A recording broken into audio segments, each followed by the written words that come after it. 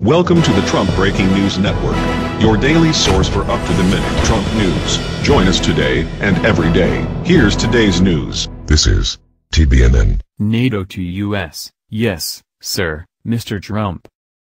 By Byron York.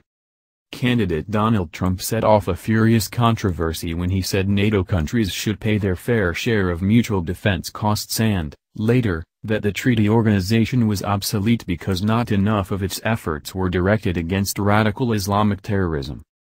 On Monday, Vice President Mike Pence took the Trump message to NATO headquarters in Brussels.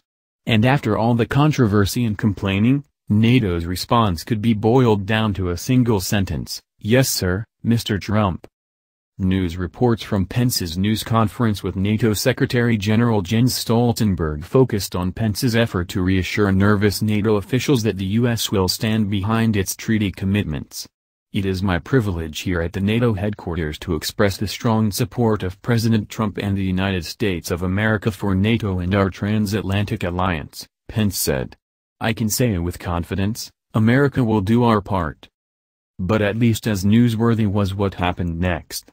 Pence dropped the hammer of Trump's demands, and NATO quickly went along. Europe's defense requires Europe's commitment as much as ours, Pence said.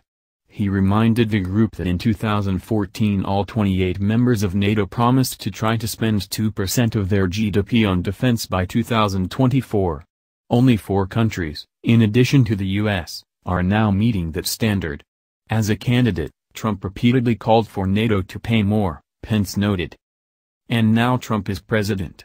So let me say again what I said this last weekend in Munich, Pence said the President of the United States and the American people expect our allies to keep their word and to do more in our common defense, and the President expects real progress by the end of 2017, it is time for actions, not words. Just in case anyone missed the message, Pence encouraged the NATO countries that don't spend 2% on defense to accelerate their plans to get there. And if you don't have a plan, Pence said, get one. To which NATO quickly acceded. I fully support what has been underlined by President Trump and by Vice President Pence today, the importance of burden sharing, Stoltenberg said. I expect all allies to make good on the promise that we made in 2014 to increase defense spending and to make sure to have a fairer burden of sharing. On the issue of terrorism, Stoltenberg said yes again. First, he noted that NATO is helping train security forces in Afghanistan and Iraq and is contributing surveillance planes to the fight against the Islamic State.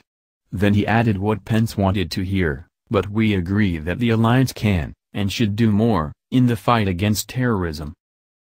That's the news. Join us here every day. Be sure to subscribe and click the bell. See you next time. This is TBNN.